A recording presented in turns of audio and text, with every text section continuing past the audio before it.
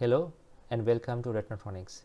Today we are going to start a new tutorial series. This series of tutorials is designed to teach you to program PIC32 microcontrollers with MPLAB Harmony version 3 using XC32 compilers.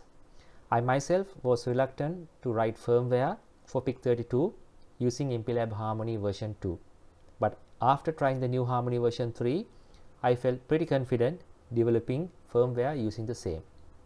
In this first episode, we will show you how to install Harmony version 3 assuming you have the latest version of MPLAB X IDE. We also need the latest version of XC32 compiler. So, we will be installing that as well. Should you require a tutorial to install MPLAB X IDE, please check the description below as I have provided a link to a good video. Before we go into the tutorial, I would like to thank my sponsor Altium. Majority of my hardware in PCB boards in my channel and in this video series are made using Altium and Altium 365. Altium 365 opens a whole new level of PCB designing experience. It supports centralized cloud storage, thus making collaboration easy.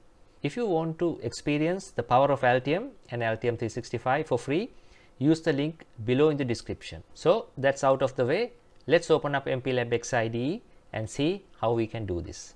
I've opened MPLAB X IDE here. Now what we are going to do is we are going to install uh, latest version of XC32 compiler into this system. We can go to tools and um, options and embedded and uh, go to build tools to see what is the version of XC32 compiler we have as you can see in this toolchain, we got XC32 compiler uh, version 2.10 which is a bit old. As it is old we are going to install the latest version. Installing MPLAB X IDE is not the intention of this video. If you want to do that there is a good video uh, which I have linked in the description. Downloading latest version of XC32 compiler is uh, pretty easy. So you go to Google and type uh, XC32 compiler download and the Google will give you this link.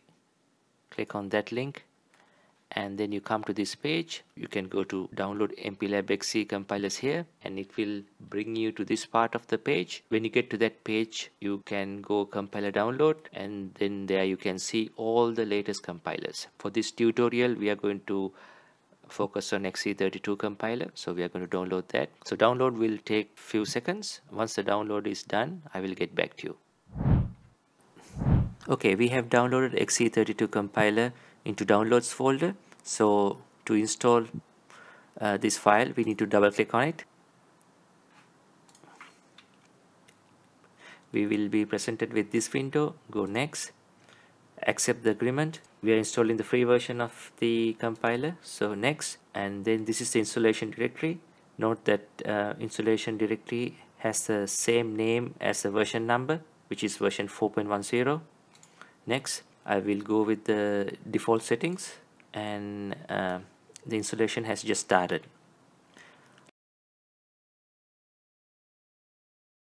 Right we are almost done with the installation here you can see the the screen. It gives you the host id and it gives you the details of the free license you have installed. Uh, note that if you want to try the pro license for 60 days you can click on this link. We go next and go finish to conclude the installation process. Since we have installed XC32 compiler, now we need to install the Harmony version 3 into our MPLAB IDE. So to install Harmony framework, we need to go to Tools, uh, Plugins Download, and from there we can go to uh, MPLAB Plugin Manager. This is a very easy way of installing the plugins. Here you can see all the available plugins if you click on this tab now you have to select harmony 3 here mplab harmony 3 launcher note this this is mplab harmony 3 and not the mplab harmony configurator here this is the old version of harmony which i not recommend and this is the harmony that we are going to use this is the harmony 3 which refers to version 3 of Harmony. So we select that and go install. It will start the installation process. Accept the license agreement. Go install. It will ask the MPLAB X IDE to restart. You can go finish and it will automatically restart your MPLAB X IDE. We are back in MPLAB X IDE again. So what we can do, we can go to uh, tools again and go to embedded as you can see we got MPLAB Harmony 3 configurator here and we can also see MPLAB Harmony 3 content manager. To start with we are going to open MPLAB Harmony 3 content manager. And then we go with all the uh, default paths. We go next. So it asks you the framework path does not exist. Do you want to create a folder uh, with a given path? We go OK.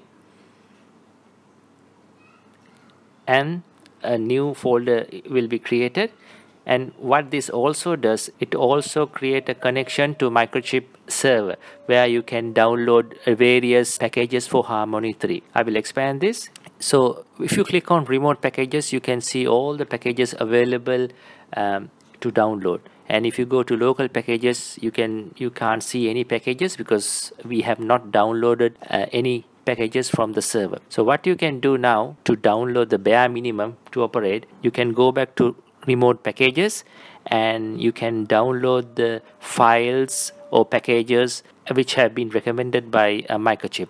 As you can see all the ones with the tick marks are the default packages what you can download. So you can go download selected here click it and um, accept all license.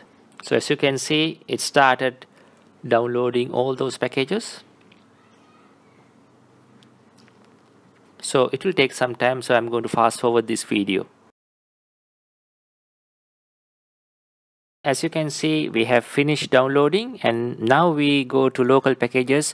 You can see it has installed all these packages and they are synchronized to the server. So we got the latest uh, packages from the server.